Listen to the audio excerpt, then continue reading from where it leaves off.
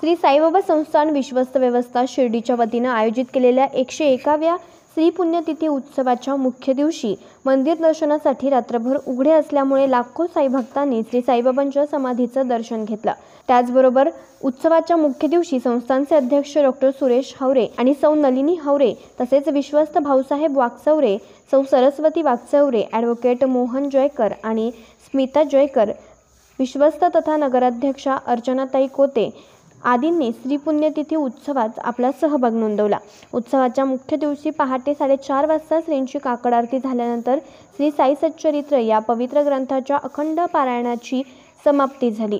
पारायण समाप्तीनंतर श्री साईबाबांच्या प्रतिमेची आणि श्री साई सच्चरित्र या पवित्र ग्रंथाची मिरवणूकही काढण्यात आली. या मिरवणुकीत संस्थांचे मुख्य कार्यकारी अधिकारी दीपक मुगळीकर यांनी पोथी अधीक्षक पंढरीनाथ शेकडे यांनी विना आणि अधीक्षक विठ्ठल बर्गे आणि अधीक्षक राजेंद्र जगताप यांनी प्रतिमा धरून सहभाग नोंदवला.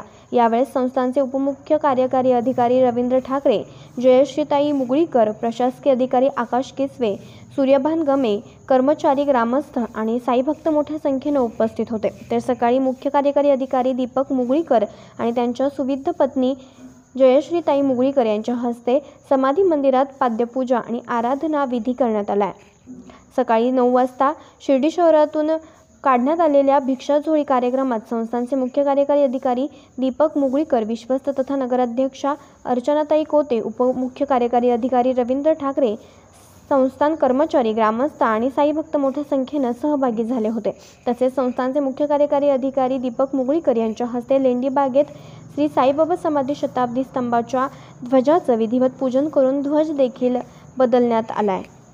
हर जन्म में साईं तेरा साथ चाहिए सर पे मेरे नाथ तेरा हाथ चाहिए। हर जन्म में साई तेरा साथ चाहिए सर पे मेरे नाथ तेरा हाथ चाहिए। सिलसिला ये टूटना नहीं बस इतनी सी सौगात।